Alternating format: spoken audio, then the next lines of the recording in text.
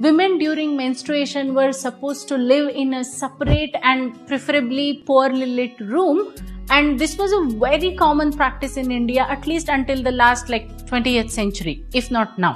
What do you think?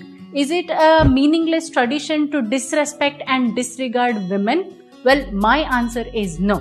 Of course, it has lost its meaning over time, but it was a very well purposed and physiologically beneficial custom. Let's understand why. The menstruation is one of the three phases of a menstrual cycle.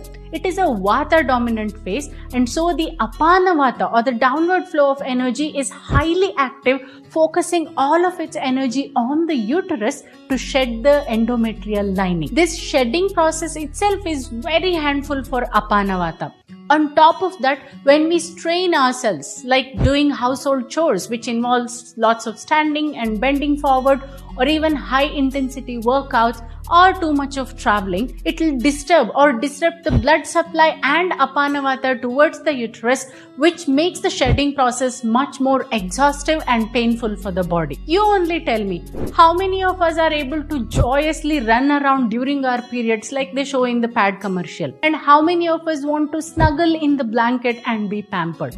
Well, we all know the answer. By the way, do you know why dark room was preferred for resting? Read the